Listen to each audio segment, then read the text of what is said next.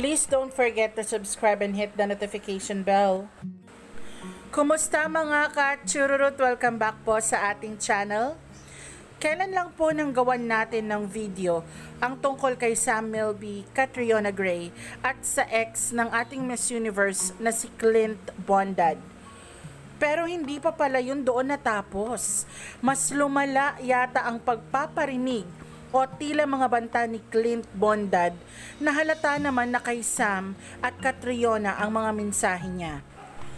May cryptic message na creepy kung tutuusin pero sobrang mapapaisip ka ng bonggang bongga.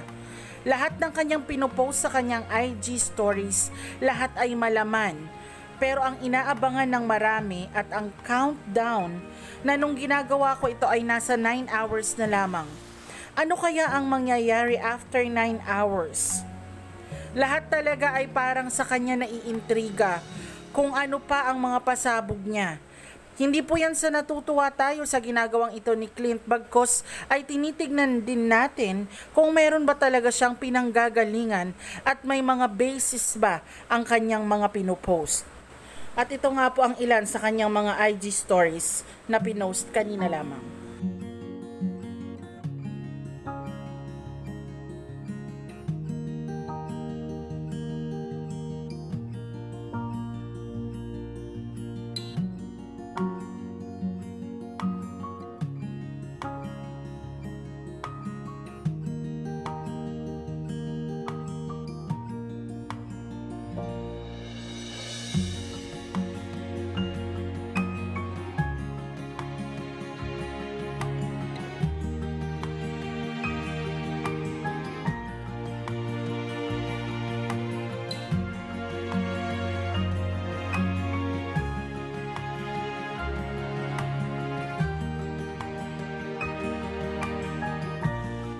O di ba mga katsururut, nakakaintriga at the same time po ay medyo nakakakilabot naman talaga.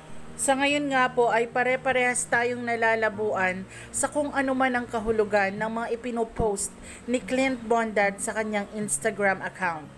Gayon pa man ay hiling natin na sana po ay maisettle na ang kanilang mga diferensya sa isa't isa para man lamang sa matagal na pinagsamahan nila Clint Bondad at Catriona Gray.